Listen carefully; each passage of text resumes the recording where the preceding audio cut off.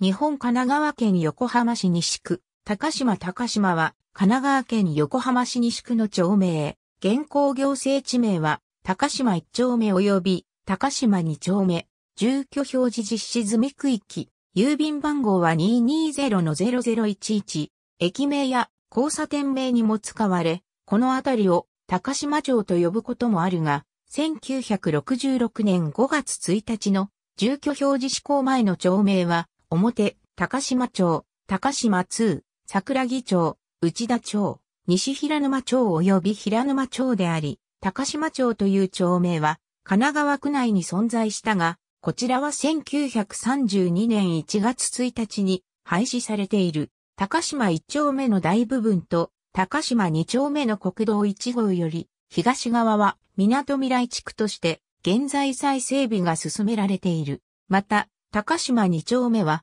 横浜駅東口の商業地にもなっており、前述の国道1号より東側の区域には百貨店のそごうや横浜スカイビルがあり、その他の区域には郵便局や専門学校、雑居ビル、オフィス、マンションなどが所在している。1874年の海津左上の入り海と海に挟まれている帯状の土地が、高島町江戸時代までは、袖ヶ浦と呼ばれる入り海であった。当地を含む周辺一帯の地域では、ここでも述べるように海岸の埋め立てをたびたび行うことで土地を拡大してきた歴史がある。1871年、鉄道敷設のために、野毛浦から神奈川宿、青木海岸を結ぶ長さ1400メートル、幅65メートルを帯状に埋め立て築堤、幅9メートルを鉄道用地とするほかは、埋め立て事業者の高島海門に貸与され、高島町と命名された。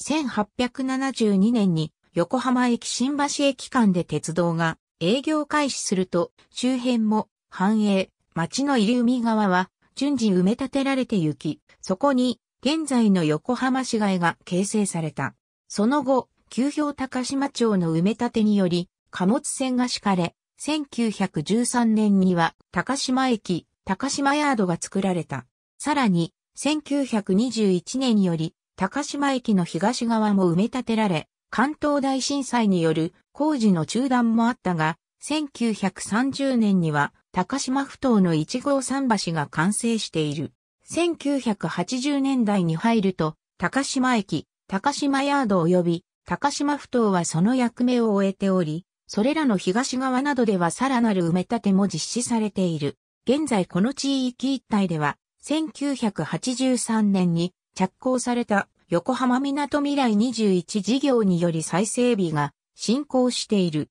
2017年12月31日現在の世帯数と人口は以下の通りである。私立小中学校に通う場合、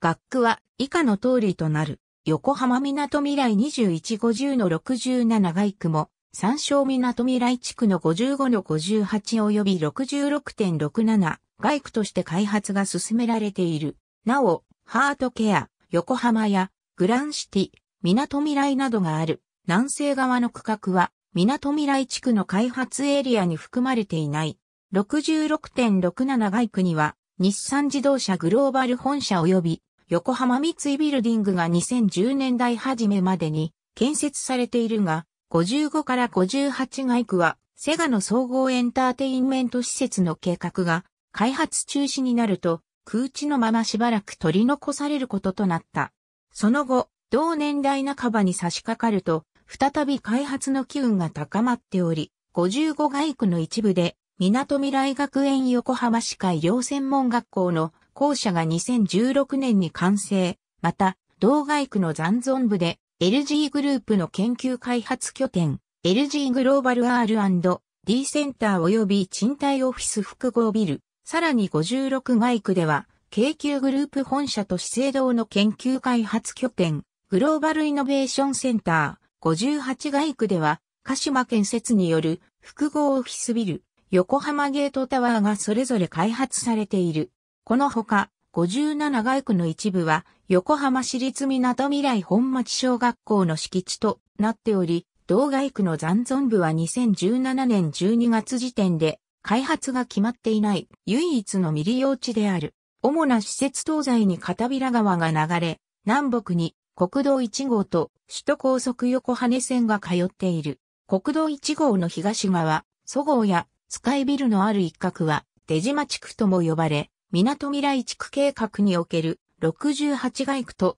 なっている。片平川より南側はマンションやオフィスビルが目立つ。また、高島2丁目は横浜駅周辺における再開発計画、駅サイト横浜22の対象エリアにも含まれている。なお、横浜市営地下鉄高島町駅の所在地は隣接する西区花咲町となる。2007年には高島2丁目地区の再開発事業により複合ビルファーストプレイス横浜が完成、開業した。オフィス、商業、住宅の複合施設で7階以上の高層がタワーマンションのパークタワー、横浜ステーションプレミアとなっている。同ビルは周辺の再開発エリアからの歩行者動線の中継地点にあり、港未来地区とは国道1号を渡る高島2丁目歩道橋で接続されている。また、横浜駅東口方面とも将来的に